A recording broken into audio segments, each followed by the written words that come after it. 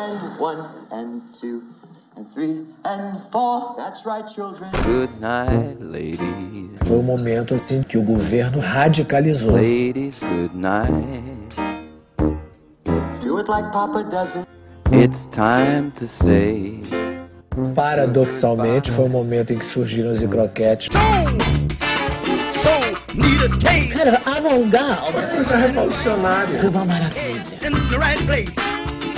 O ser humano é feito de masculino e feminino. Havia uma possibilidade absoluta do exercício da sexualidade. Senhoras, Aonde eles iam, a gente ia atrás. mães de família, avós que gritavam.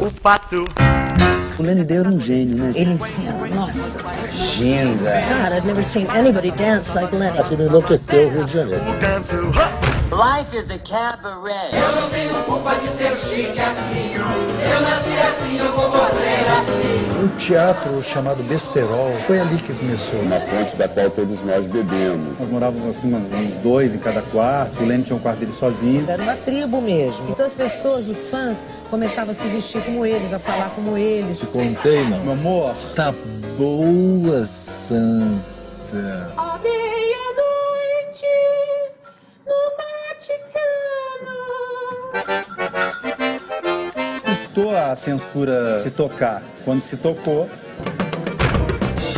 Nós nos propusemos ir à Europa. Porque o luxo de Paris era assistir de croquete. La Folie. abre a cortina, tem Liza Minnelli, tem Mick Jagger.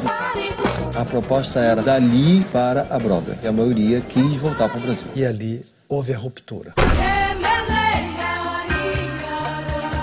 E eram loucos, livres. Inesquecível. Não tem como definir, só quem viu. Único. I can't describe in one word.